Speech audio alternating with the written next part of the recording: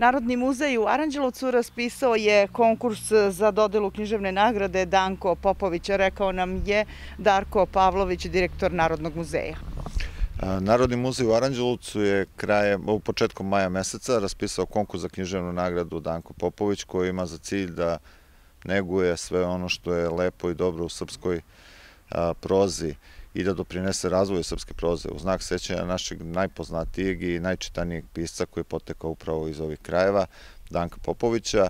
Mi smo na neki način pomerili rok za konkurs sa marta meseca na maj mesec, zato što smo iz prostog razloga što smo hteli da situacija koja je trenutno bila u našoj zemlji, pogođeni ovim koronavirusom. Želeli smo da damo šansu svim izdavačima i piscima da imaju dovoljno vremena i normalne uslove i da sama ovaj konkurs dobije na prostoru i vremenu da bi svi mogli da se prijave. S obzirom da je ovo jedna od najprestižnijih sada književnih nagrada u našoj zemlji koja je za kratko vreme stekla jedno veliko poverenje kada je književna javnost u pitanju. Ko sve može da se prijavi na konkurs?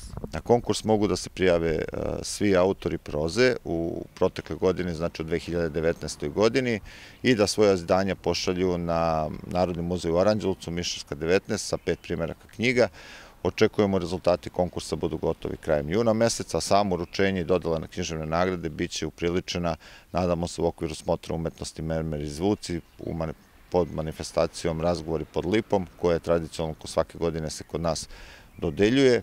Iskreno se nadamo da će i ove godine imati prilike da veliki broj publike prisutuje tom događaju, a sa druge strane pokrovitelj ove književne nagrade je opština Aranđelovac i pored povelje, znači dobitnici dobit će i novčani izaz.